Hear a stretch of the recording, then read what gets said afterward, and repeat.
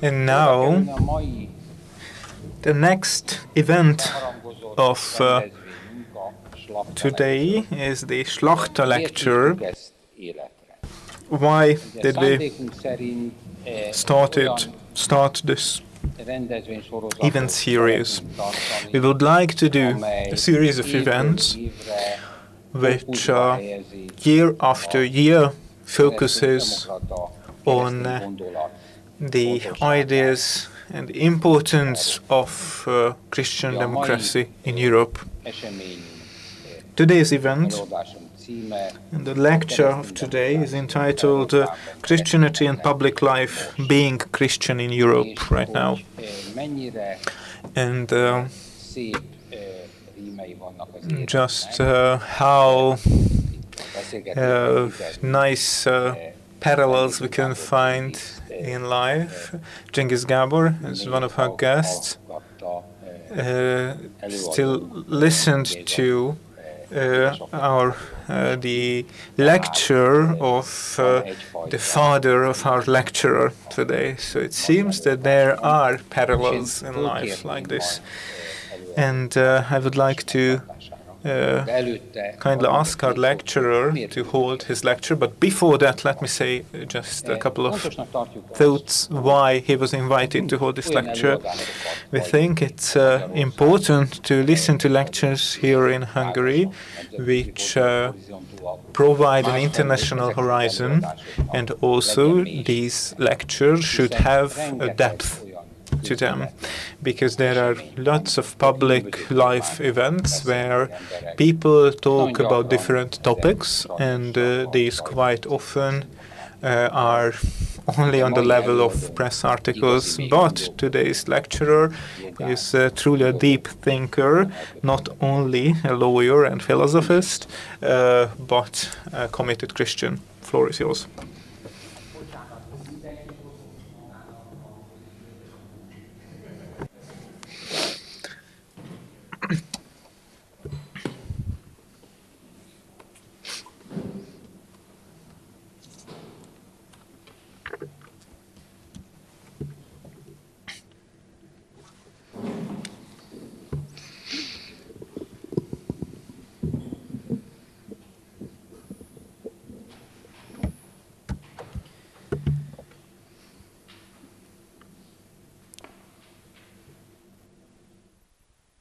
Thank you very much, Professor, for your introduction and to the Foundation for inviting me this evening. And as I was listening to the speakers before me and looking at the work that was new to me of um, Sister Slachta, I was actually thinking, why am I then here as a man tonight standing here to speak to you. So I am starting with uh, some humility in the face of such great, uh, such a great woman uh, who stands in a long line of great women who have um, shaped Europe in such an important way. And the topic of today, in fact, very much fits to the theme uh, that we heard today with the book presentation and the presentation uh, on the educational project. And the theme that I will speak about, Christianity and public life, what does it mean to be a Christian today in Europe, is a theme that is very close to my heart.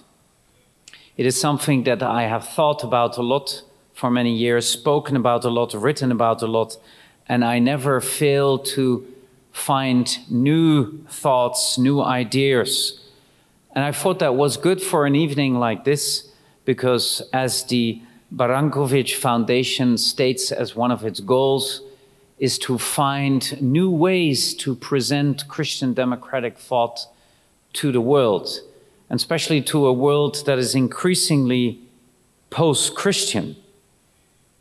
But as you will hear from me today, it is vital for the future of our European continent, of our beloved European continent, that we hold on to this Christian democratic tradition, that we strengthen it, and that we deepen it.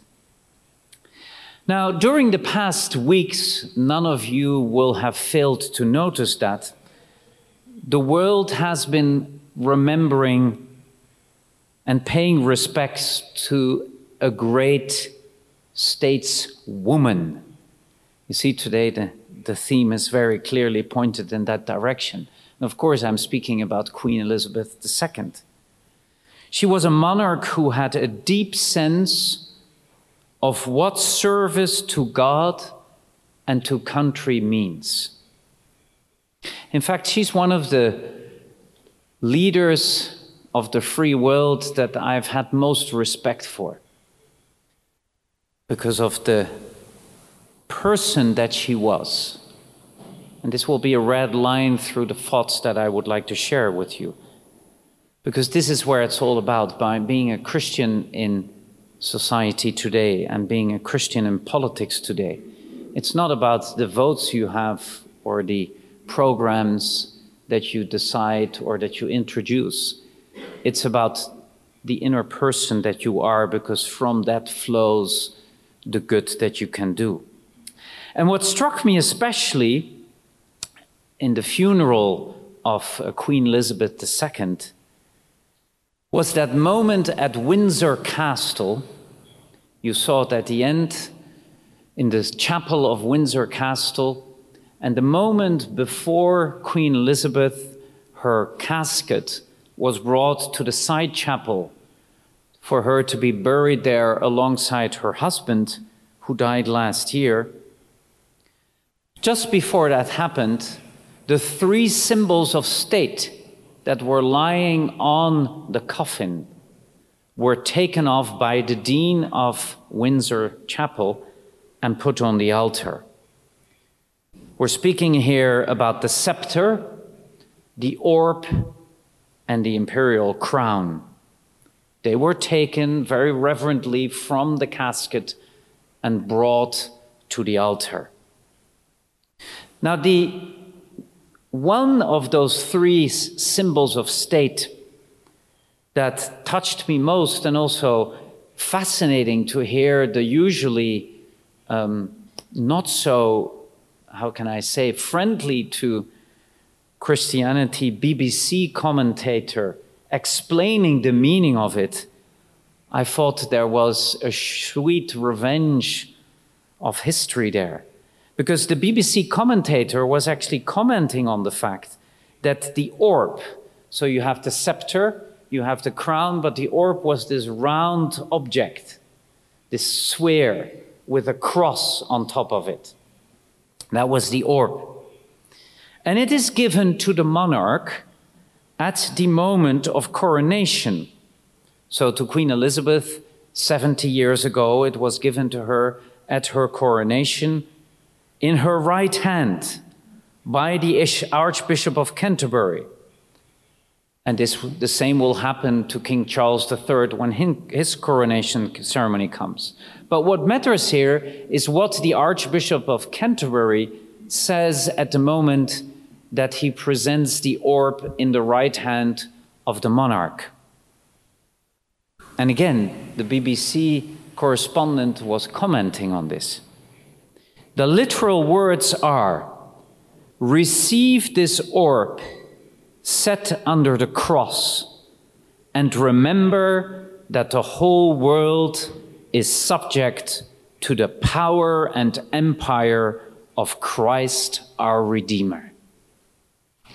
Isn't it beautiful that in our modern times, in our secularizing society, this symbol, this powerful symbol, is still present? So it is the symbol of the monarch being given power by God and thus subject to Him subject to God. And so, for every Christian in public office, this powerful symbol of the orb points to an eternal truth. Not man, but God is the measure of all things.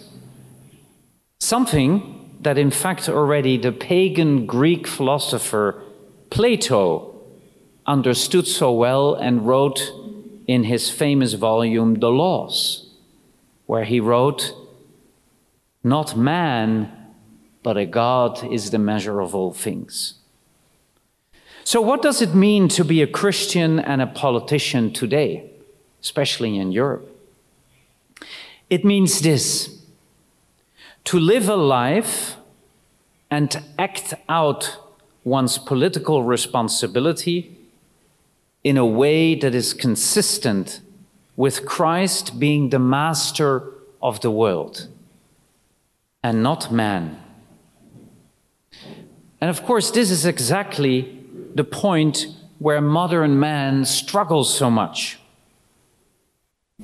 As through breathtaking advances in all areas of human endeavor, he thinks there are no limits and that he can do all, control all, change all, and thus play the master of the world, the master of the universe leading to devastating consequences and great injustice.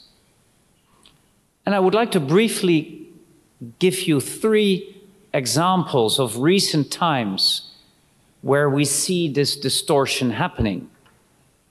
And mind you, don't misunderstand me, it is not necessarily bad intentions that we human beings fall in that tendency to want to be masters of the universe. Those three examples, I will very briefly give them to you under a very clear observation that I have. And that observation is that this wanting to play God always leads to overreaction by human beings. And it mostly is to be seen in relation to our dealings with nature, with the realities of nature. And there are three areas where we've seen that in recent time. The first I call COVIDism, the second I call climatism, and the third one I call transgenderism. There are all three areas where we have been harshly confronted with the realities of nature. Where it comes to COVIDism is we've been harshly confronted with the reality of a virus that we didn't know how to deal with. With climatism, we are confronted harshly with a changing climate. And with transgenderism, we are confronted with a new social phenomenon where increasingly young people seem to be uncomfortable with the biological sex with which they were born. Now, instead of us human beings knowing our place and saying, let's try to understand how we've gotten here, let's try to understand how the process of nature is.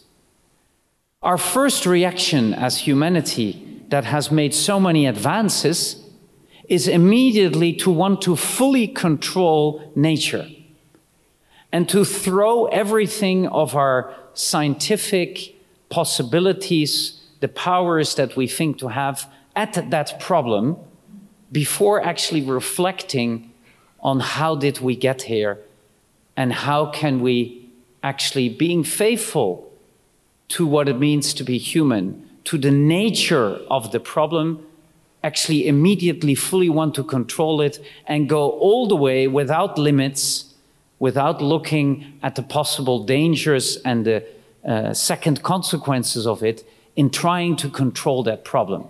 I'll just pick out one example of that. The whole debate about the climate change is, is, a, is a shocking example of how arrogant we human beings are. Because do we really think that we human beings can control the temperature of the earth? That has nothing to say about the fact, the obvious fact that we are destroying our environment as human beings. Eh? And that our attitude towards our natural environment is absolutely unacceptable. And that therefore, out of moral reasons, we have to change our behavior.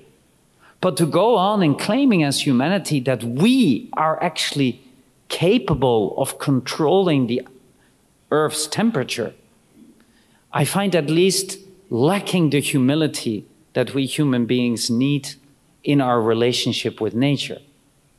Now, before I'm being misunderstood, that doesn't mean that work doesn't need to be done eh, to reduce all the, um, you know, all the bad um, things that we throw into the atmosphere, and that we didn't, don't have to adapt our behavior as human beings. That's not the point here. But the point I'm trying to make here is the way we respond to it. The way we respond to it is that we as human beings say, we can control nature. Whereas if we would have this proper relationship to God being the master of the world, we would understand that a little bit more humility is required and that we cannot control nature. What we can do is work harder not to destroy nature. That we can do, but we cannot control it. So this, uh, just to give you an example uh, of how in our society we have lost this sense today of the proper place of the human being.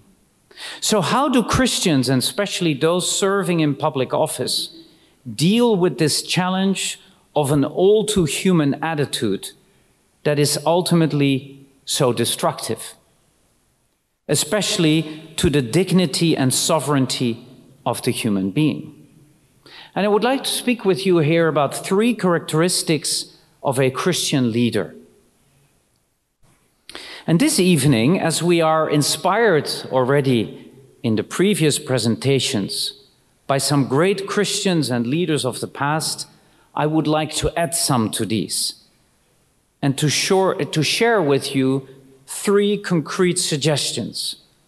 I already called them characteristics that might help us to set out our focus and our priorities and to know the proper place, our proper place as human beings in this world that we did not create ourselves.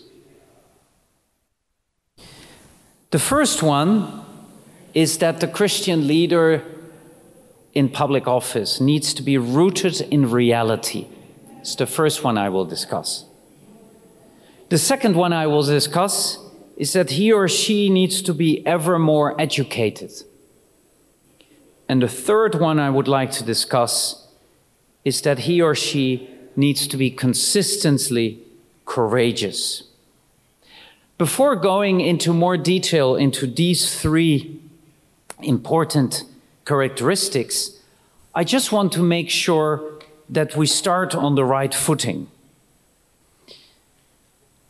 And for that, I have three thoughts I want to deposit with you. And that is the following.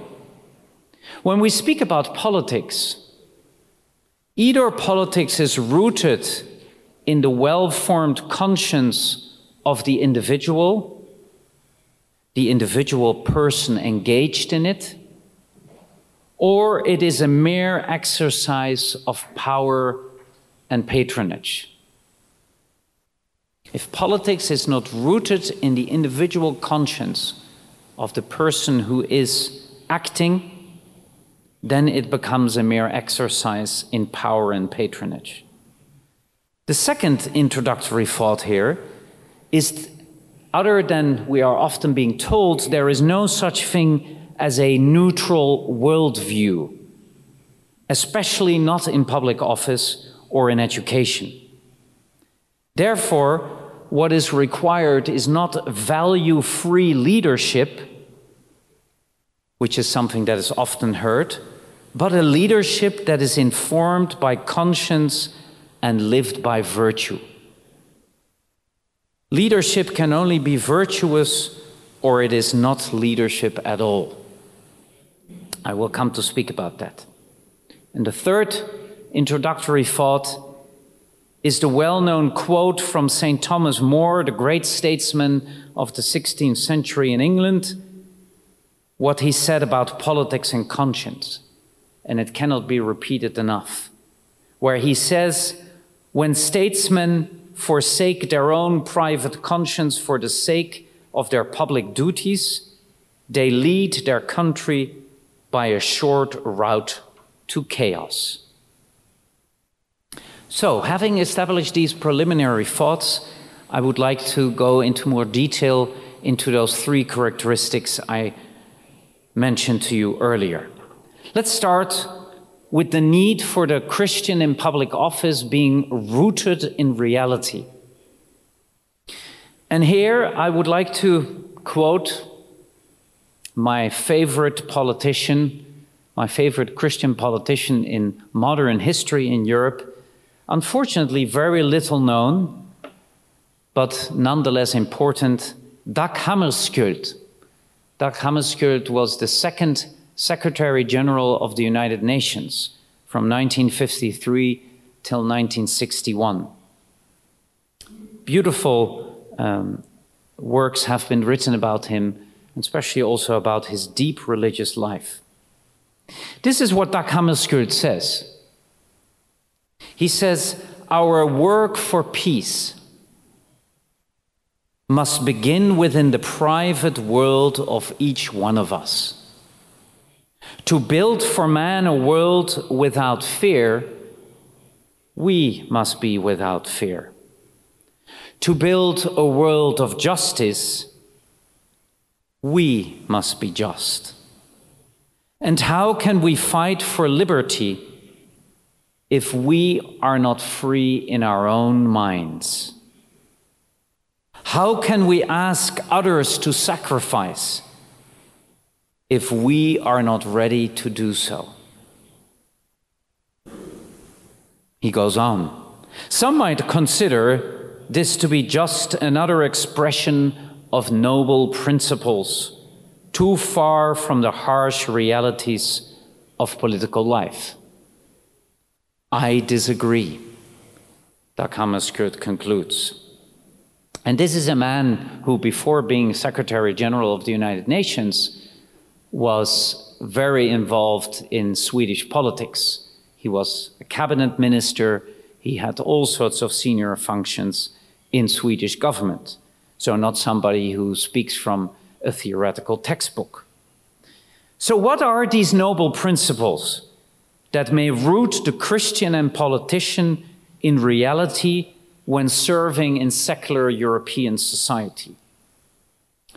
The first one that we can distill from this quote from Dag Hammarskjöld is what I would like to call unity of life. The public and the private person are and should be one and the same. I think this is one of the most fundamental misunderstandings that we see happening in politics. If a politician, let's put it a little bit um, dramatic here, if a politician lives a double life and the public finds out, we know what the headlines are. We know what the headlines are. I'm always actually very surprised how upset um, newspapers get when politicians get into private scandals. Um, because you sometimes think, well, the whole of society is like that. Yes, but the public has high expectations of their leaders, and they don't tolerate a double life. So, this unity of life is especially important for us Christians especially there. This is also why, I've said that before, why the anger in society because of the church abuse scandals in the past decade was justified. Because as Christians, we live according to a very profound message, a high calling. And if we go around as Christians preaching that and we don't live it, and we engage in crimes, then rightly so, people are upset. So, this unity of life, and this is the biggest challenge the unity of life that the public and the private person in politics are one and the same. That's the first element that Dag shares with us. The second one is inner freedom free in our own minds, hearts, and souls. He says it so beautifully. He says, How can we fight for liberty if we are not free in our own minds? Or, in other words, if we let ourselves be guided by whatever, what is politically correct, or what others want me to think, or what I should be thinking in this world, etc. That is not a free mind. Dag Hammarskjöld points that out to us. The Christian politician needs this inner freedom also to be able to make decisions that might not be popular in the mainstream mind.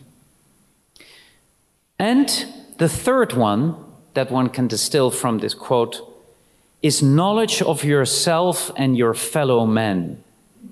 We have to know ourselves, we have to know our weaknesses and our strengths, and be humble about it. And on the other hand, we have to make this constant effort. In fact, in his little book um, about uh, politics and conscience on, um, the, in the writings of Dag Hammarskjöld, there's a very nice list where Dag Hammarskjöld lists what he thinks should be, so to say, the different, um, uh, the different attitudes a politician should have. And in that, it features very largely this knowledge of your fellow man, wanting to understand your opponent, wanting to understand why your opponent thinks as he or she thinks. What are the reasons? So, knowledge of yourself and your fellow man. The person that strives for a unity of life, for inner freedom, and knowing oneself and the other is rooted in the reality of what it means to be human. And that is a lifelong process. That is where it's all about. He or she is capable and willing to see and respect the order of creation and our role and proper place in it as humans. That is what I was trying to say with my provoking statements about those three isms at the beginning. Knowing our proper place as humans. This person does not reject God because he or she knows that by seeking to know God, I in fact start to grow in understanding what is human life and how it ought to be lived. Every society that rejects this idea, without exception, as history shows us, falls into dehumanization, barbarism, and self destruction. And we have seen that in the history of the 20th century. Communism, Nazism, this country has suffered enormously under it. All this means today that the political leader who is a Christian humbly accepts and accordingly acts that not man, but God is the measure of all things. This is a reality that each Christian needs to publicly acknowledge. That doesn't mean that the Christian has to go around saying God, God, God the whole day in politics. But his or her attitude radiates that accepting that man is not the master of the universe. Without which attitude of life, one can hardly be called a Christian, let alone be an example. The great French industrialist Francois Michelin, whom I had the privilege to know personally, and yes, he was indeed the president of the Michelin conglomerate, we all know it from the Michelin guide and the tires. He also was a devout Catholic and a married man and father of six children. And he wrote a little book at the end of his life. It's called And Why Not? On the human person at the heart of business. And he speaks about reality here.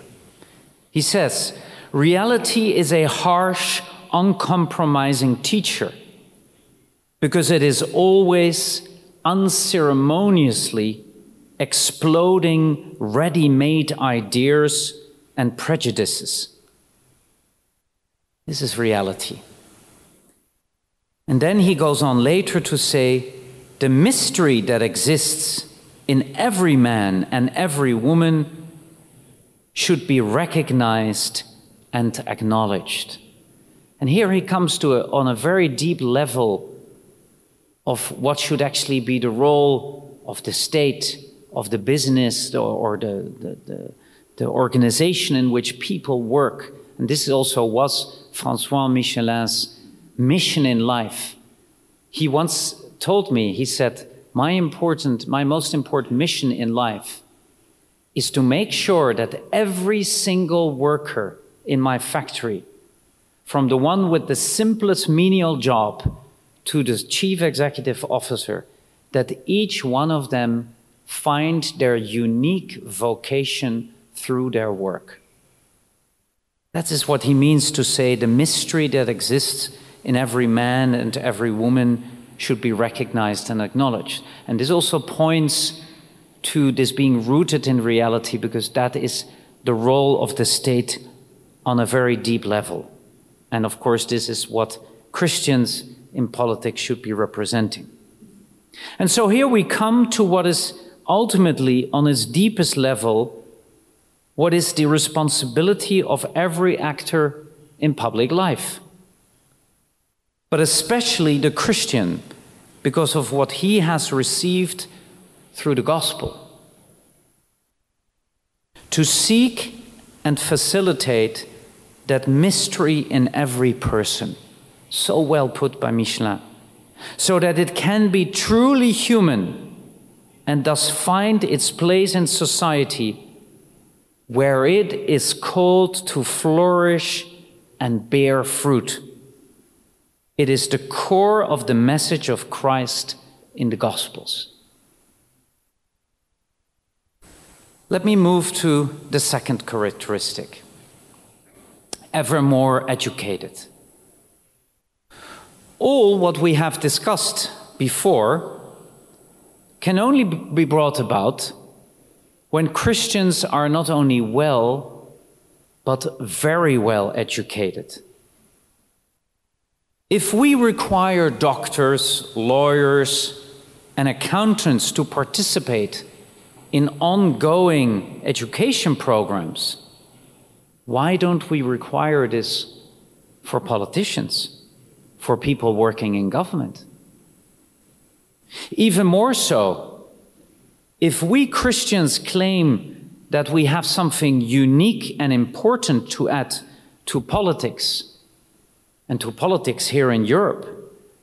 How can we do so if we are not continuously educating ourselves? How do we think we can ever successfully deal with and counter the many ideologies of moral relativism and wokeism if we only read what the newspapers tell us? Whilst what we need is the enduring wisdom that is to be gained through the study and discussion of the great masters of our civilization.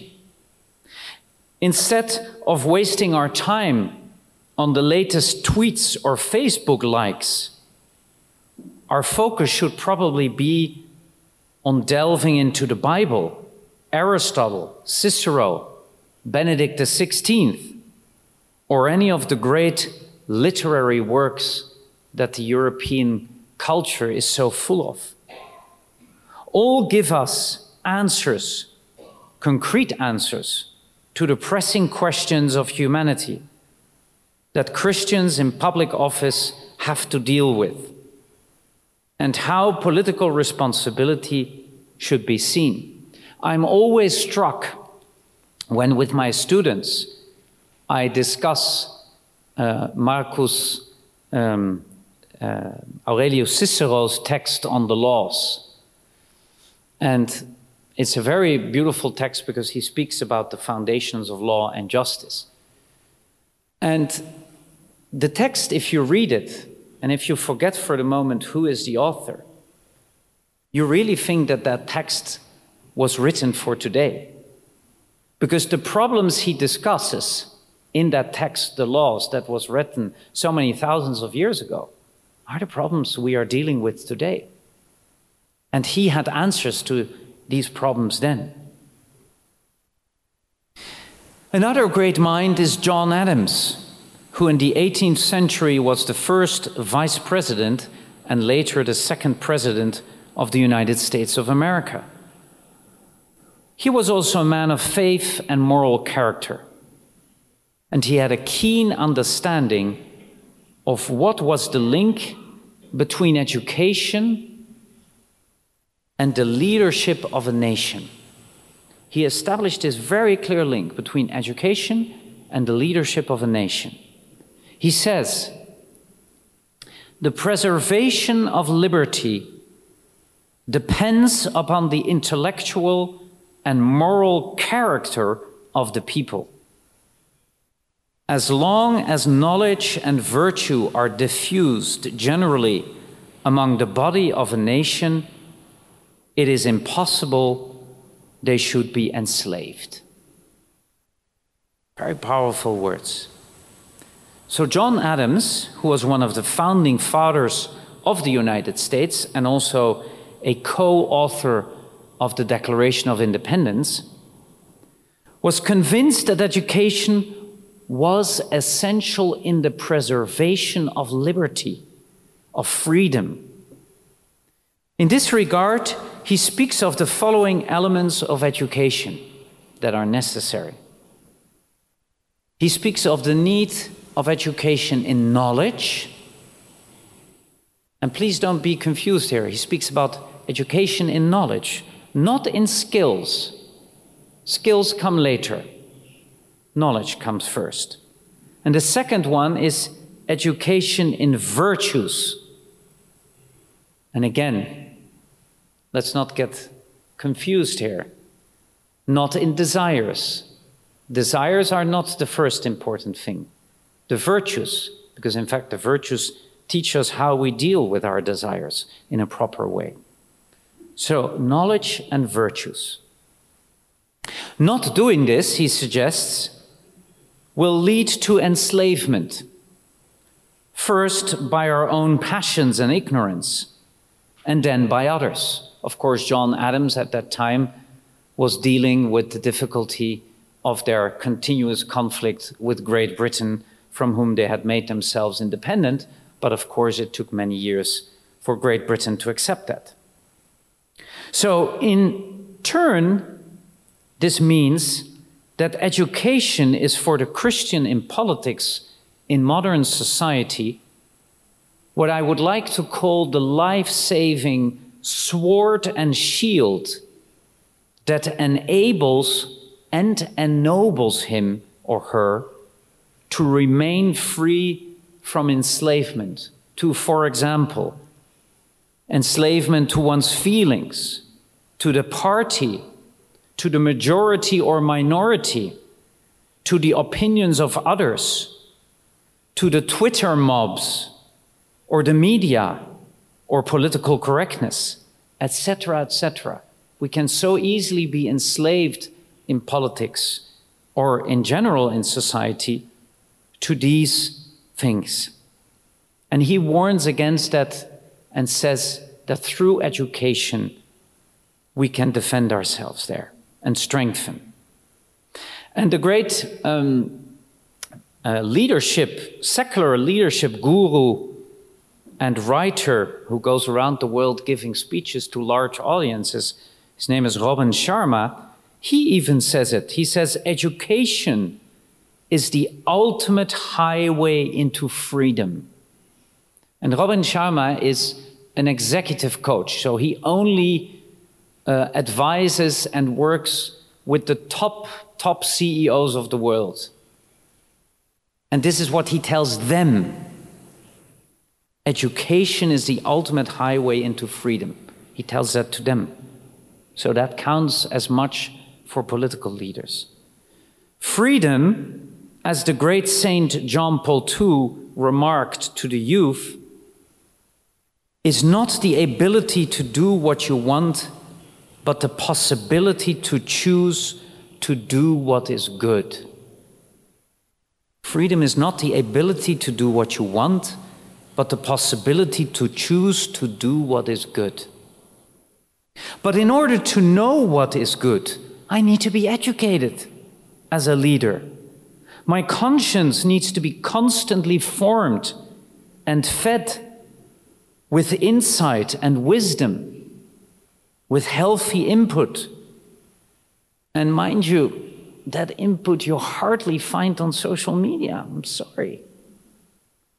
And here, as Christians, we have so much a bigger responsibility than others because we have been given so much, as the gospel says. To those whom much has been given, much will be asked. And to whom more has been given, even more will be asked. I always shiver when I read that because I always think, my goodness, when I stand before God, I hope I can defend myself. The third characteristic consistently courageous. The third characteristic of a Christian leader is this calling to be consistently courageous. So, not just once in a while courageous, but consistently. And here I would like to begin with returning again to this great modern statesman and Christian whom I quoted before, Dag Hammarskjöld. This is what he says about himself, Dag.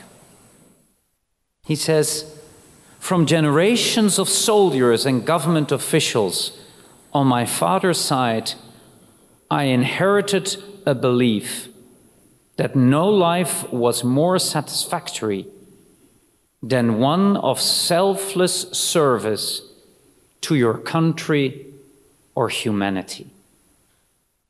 No life was more satisfactory than one of selfless service to your country or humanity.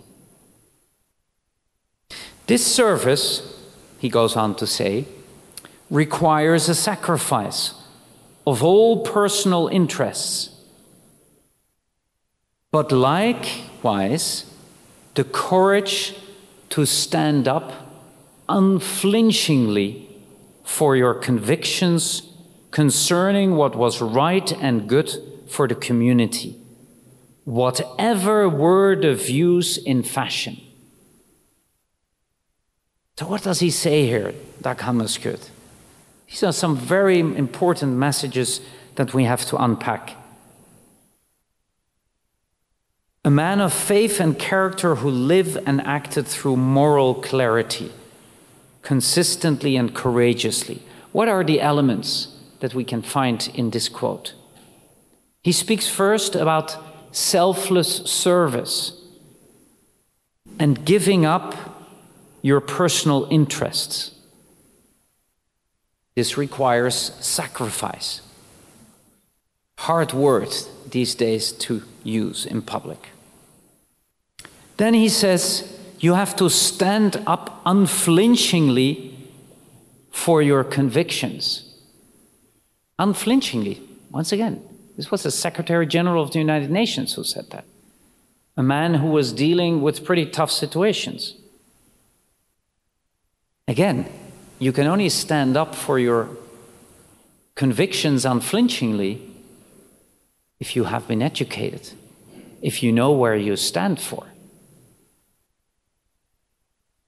And in relation to this standing up unflinchingly, what is right and good, regardless of current opinion or the newest orthodoxy or powerful opponents. And in this book, Hammarskjöld speaks of one of the many examples where he was in reality living this, where he had to deal with the Soviet Union, that of course was trying to use him and the United Nations to push through its agenda, like other great powers were doing. And he stood up. It is known, it is recorded um, in the history books that he stood up. Later, he adds the vital importance of being willing to admit that you or those you represent were wrong. I think this is another of these great challenges of politicians today but something where I think Christians are specifically called because we are a people of forgiveness is the ability to admit that you have been wrong and also the ability to be able to admit that in public. I could speak hours of examples where in current times that would be a good idea. If we now move back from what a consistently courageous leader is capable of, namely service, conviction, and humility, to taking a closer look at what the virtue of courage itself means and consists of. We learn the following from Alexander Havard in his book From Temperament to Character on becoming a virtuous leader. He says that courage has two dimensions boldness, you could also call that audacity, and endurance, you can also call that fortitude. Being courageous means to willingly run risks and stay the course. It generates creativity. Now, as a Christian in politics, that is quite a challenge. To willingly take risks, run the risks, and still stay the course. It generates creativity. It also requires a strong will, this courage. It is thus a moral virtue that demands moral clarity. Again, this moral clarity is only possible when we have education, meaning that your goals are just, respecting basic principles of human nature and the dignity of the human person. Without that, your strong will will lead to injustice. But if your strong will is rooted in a moral virtue that itself is based on moral clarity, then you will be able to pursue goals that are just. Other words that illustrate the meaning of courage are, for example, persistence, faithfulness, being principled, stable souls. Practice what you preach. We spoke about that at the beginning. And very importantly, being a lover of truth. And here there's a, a nice example, or also a um, little bit of a sad example, of Alexander Solzhenitsyn, who first started writing negatively about Stalin after Stalin had died but then started spreading his message against the whole communist system. And of course, then he was exiled. And then he came in Europe, and there he discovered in Western Europe that there were all these, um, all these people that were somehow enamored with what they called socialism with a human face and you know and they, they all it was all in the saloons of western europe you know many of them it was very popular to, to like communism. And what did Solzhenitsyn discover there? That he was as much reviled by many of them there as he was in the Soviet Union. But his courage was that he endured it. He endured it. He stayed the course. In spite of the fact that the part of the world where he thought he would find understanding and freedom, he actually fought he actually found much less of it than he had hoped, but he still stayed the course. The consistently courageous Christian in public office has one anchor he never cuts himself off from a well formed conscience, which is nothing else than the voice of God talking to us, telling us in the deepest realms of our heart what is right and what is wrong. That is what our conscience is about. And like St. Thomas More, who famously said, I am the king's servant, the king's good servant, but God's first, he or she is willing ultimately to give up all, even life itself, to avoid doing what is evil or to accommodate it. Any Christian taking its calling in this world seriously has to accept this eventuality or otherwise risk falling prey to losing one's soul. And recently, at a meeting I attended uh, of Catholic legislators, we heard a testimony of a member of parliament from an Asian country who had and who has a very powerful position in his party, but who refused to give in to his party wanting to redefine the definition of marriage. And he said, he stood before us, and he said, I am willing to give up all the political capital that I've built up, my position, and everything that I have done in politics, because I'm not willing to sell my soul on this fundamental principle for me.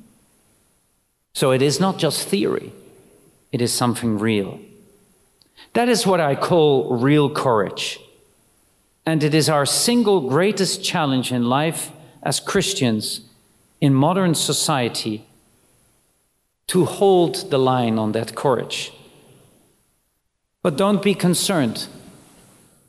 This was the single biggest challenge during all generations. St. Thomas More, 500 years ago, was in exactly the same position as then Lord Chancellor or Prime Minister of the British realm. I come to my conclusion. In his deeply insightful book, Live Not by Lies, Rod Dreher quotes a Russian pastor, Sipko, who explains what secularization has done to contemporary Christians.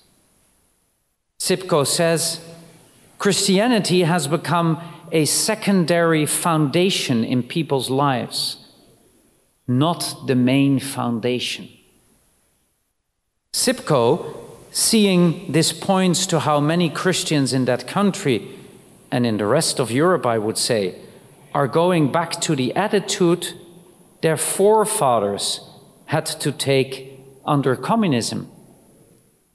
They have a very clear understanding that their faith in Christ means they are going to have to reject this secular world.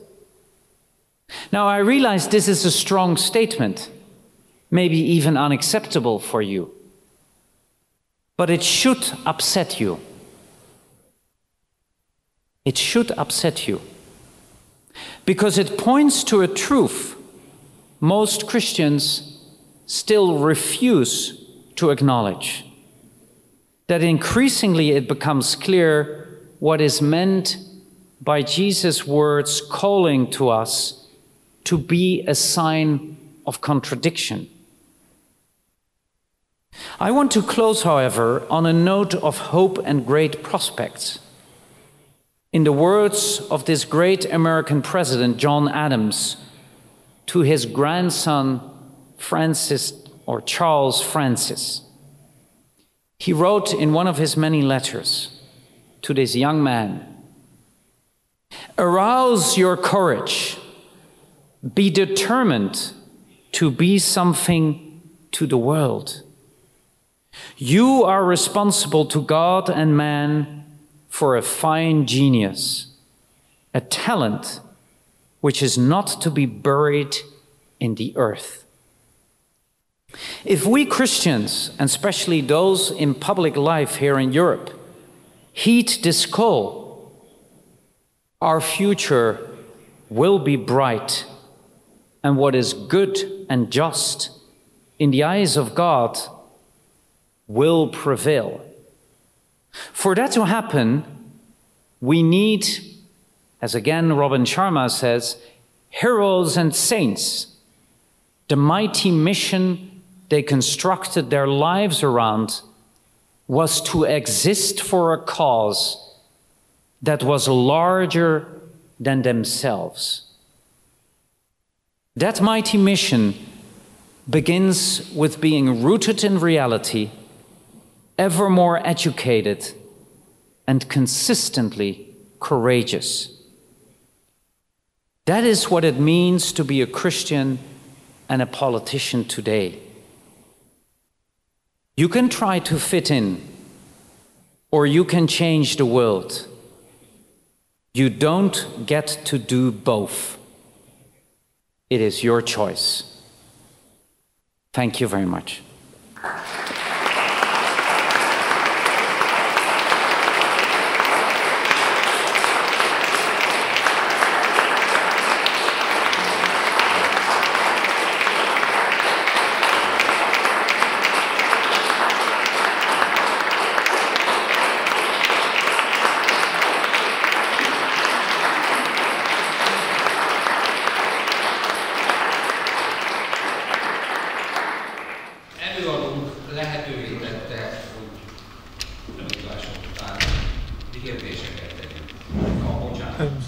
Our lecturer made it possible to ask questions.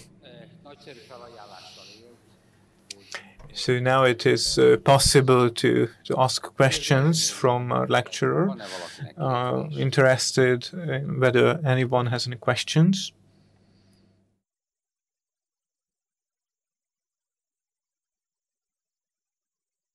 Parancsolj!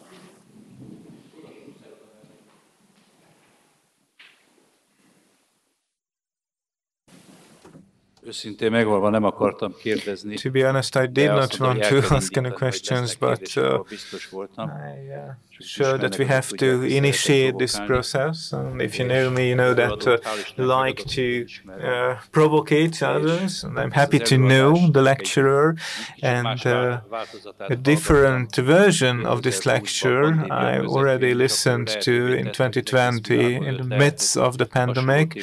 And uh, then it was uh, possible to ask him in similar topics from all over the world, over the internet. Everyone was joining in from their home, from their garden, Ez a logika, uh, from the loft and so on. And uh, okfejtés, színvonalas okfejtés. M- Meanwhile, this logic, this very clear logic is really captivating for me, and I would like to personally thank him uh, for coming here and uh, sharing this uh, in a different circle. As a practicing uh, politician, you kept talking about uh, um, um, reality itself. And also we have to talk about the principle of, of democracy, És hogyha meg kell, hogy democracy of majority. akkor rá fognak And if uh, you have to be uh, voted for, elected, then, then uh, as a practicing uh, Világosan kell látni, politician, uh, of course we ma uh, többséget nem receive a lot of encouragement, but this logic that we have heard about now is uh, not a majority opinion in Europe. And of course, I have a sort of an answer, but uh, I would like to hear your opinion as as a politician living in a, a democracy, democracy of majority. Uh, what should a Christian politician do in this setting?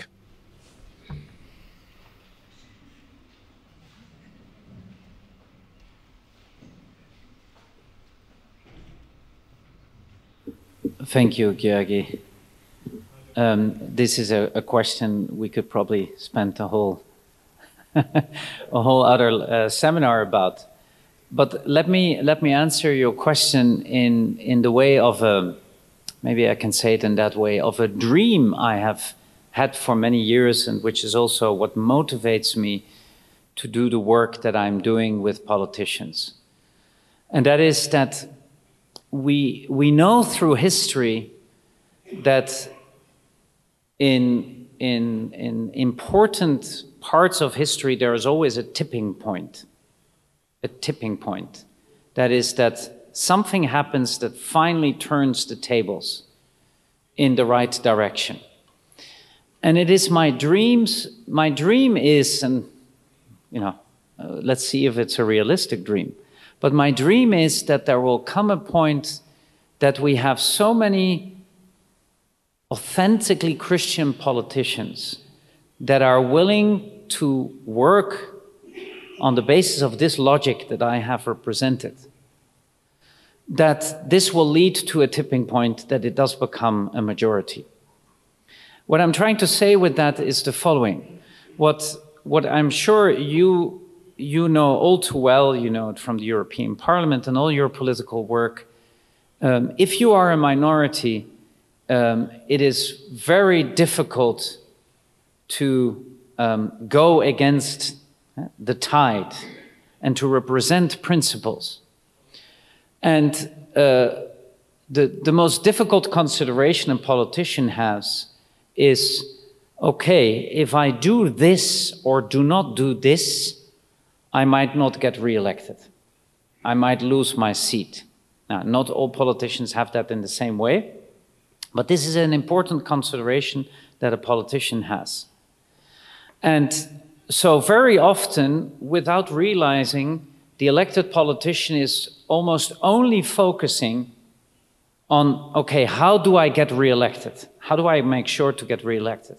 And in that process, very often they then start selling their principles and selling their souls.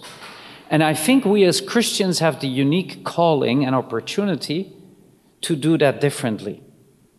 And I believe, and I've seen it happening already in, in, in some countries, I believe that if enough people are willing to say, no, I am willing to lose my seat because I am not willing to sell my soul. Like this, this example I just, just gave you. Uh, in fact, that story is a continuing story. You know who I mean. I can't reveal the name of this person. But um, this person actually has been in touch with me and has said, Christian, you cannot imagine how my stance has completely changed the discussions in the government because they were never expecting me and some others to actually resist this. So I believe that if more Christians have the courage to stand up and to say no and to indeed risk all, as, as, as this logic indeed includes, there will come tipping points. And it might take in one country five years, 10 years, 20 years. But at the end of the day, and here I'm speaking purely from a religious perspective, for the individual Christian in politics, what does it all matter whether that tipping point does or does not come?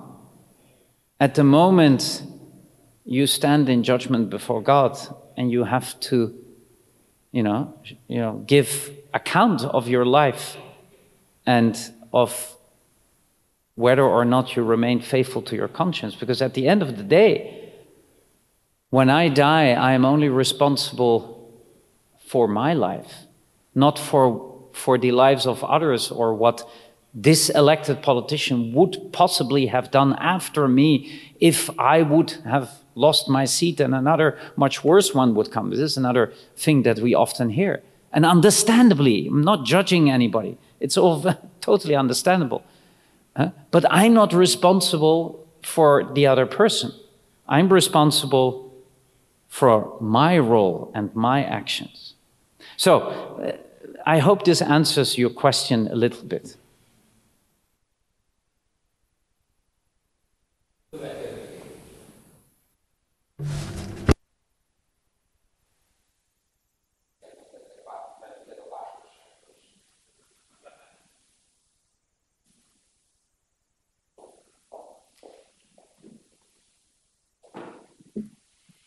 Sokan vagyunk itt, akik nem vagyunk And politikusok. many of us here are not politicians.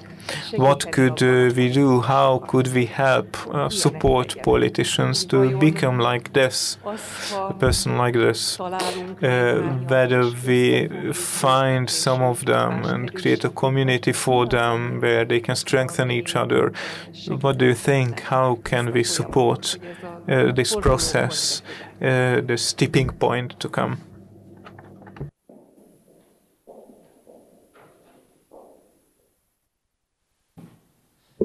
Sister, that is a beautiful question, which immediately reminds me of my mother.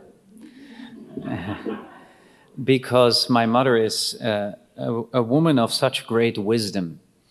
And one of the things that my mother always did when we were children, and which she told us to continue doing, is she said, always invite the parish priest to your house as a family. Because the parish priest needs that support from a family, needs that support in his pastoral ministry. And so I think, as you already suggested, we need to do the same with our uh, Christian brothers and sisters who are in politics. And in fact, this is part of the work that, that I am doing, but it needs to, to happen not only on an institutional level, but it needs to happen much more on a personal level. Unfortunately, um, politicians are so often reviled in our society. But instead of continuously criticizing our politicians, we should do in, indeed that. You know, if we know politicians in our family, in our friends, if we know they're Christians and we know their strugglings, bring them into our houses, invite them to dinners, support them, carry them, uh, help them through. That would, that would, you know, do enormous good. So absolutely yes.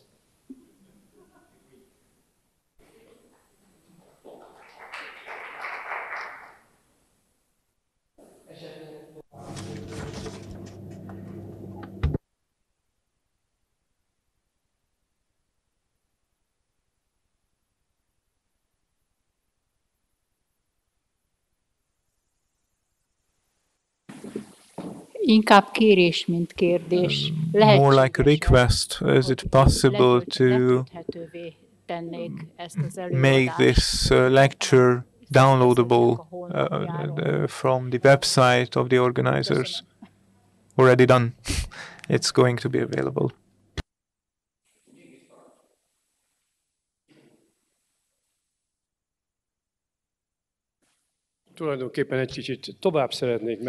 I'd like to move further on Vannak ezek a uh, about the topic that uh, George talked about. There, there is, there are these tipping points. You know that uh, Mr. Professor is a historian Arra kérném, hogy as well, a philosopher as well. I would like to hear a couple of these tipping points, mi- miért a körülmények- examples of these tipping points. vannak ezek a Under which fordulópontok? Mikor jön létre egy circumstances uh, do these uh, tipping points come about?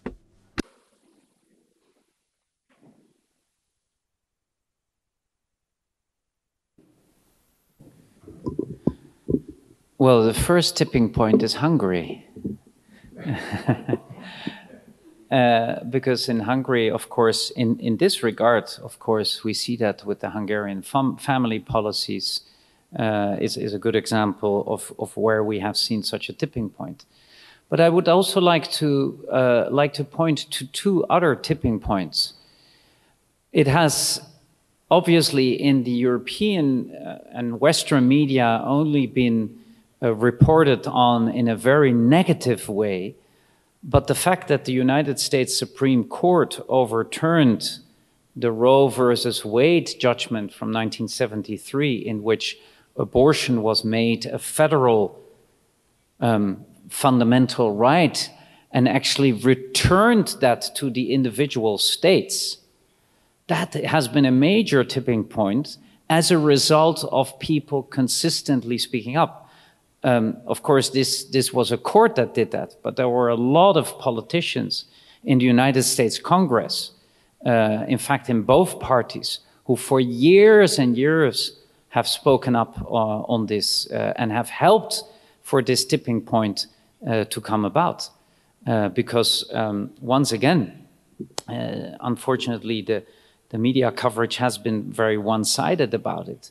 But, but it was a legal anomaly that, uh, that this uh, Supreme Court uh, ruling in 1973 was passed and had such a massive negative impact on the United States. And once again, it was brought back to the individual state, it was brought back to the democratic process uh, where it belonged. So that's another tipping point, a very clear tipping point, I would say. And another tipping point uh, that, that we also see, um, it's, it's the very special friendship and relationship that existed between three people that were decisive next uh, that were decisive in the fall of the Iron Curtain uh, in Europe. And those were John Paul II, Ronald Reagan, and Margaret Thatcher. This is something we often forget. Uh, now, because recently uh, Gorbachev died, everybody was immediately saying he was the one responsible uh, for the fall of communism. I don't think I have to tell Hungarians that that was not necessarily entirely the case. Um, but it's true that Gorbachev obviously uh, did not intervene uh, in the way his predecessors have, have, uh, have done. But my point is not that. My point is that three people who all had strong convictions and were willing to stand for those convictions, something that very many people forget. I still remember it, that maybe a month before the fall of the Berlin Wall, French President Mitterrand still said that it was unimaginable for Germany to be reunified, that it was unimaginable for communism to fall. Um, he was still saying that, and he was not the only one. Yet there were three politicians who had very strong convictions about that and who started working together. And that did lead to a tipping point. Of course, the, the most important tipping point where it started, of course, is the visit of John Paul II to Poland in 1979. Uh, um, uh, but that's where the process of various tipping points started. But it was because there were three people who had strong convictions who were willing to be ridiculed for those convictions. Uh, Reagan was ridiculed. I remember that very clearly in school, how Reagan was ridiculed for him speaking about the axis of evil, you know, where he, uh, where he spoke about the evil, uh, the evil of the Soviet regime. He was ridiculed in the schools. But no, he stood very firmly. Now, I happen to know that one of the people who influenced him most in this policy and who was actually the one who established diplomatic relations between, um, between the Holy See and the United States was President Reagan's national security advisor, and before that, chief of staff, a devout Catholic by the name of Judge Bill Clark, Judge William Clark, uh, another man of conviction who also had to endure a lot of ridicule in the cabinet, even of Reagan, on this stance, but he had this important influence. So I think that's another example of a tipping point.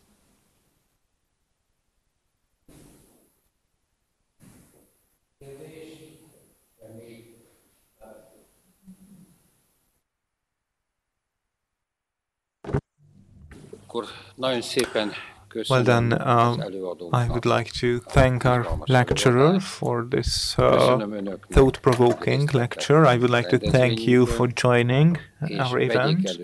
And uh, please uh, note in your calendar that uh, next week, uh, same, we are going to meet uh, for the second lecture, same place next year.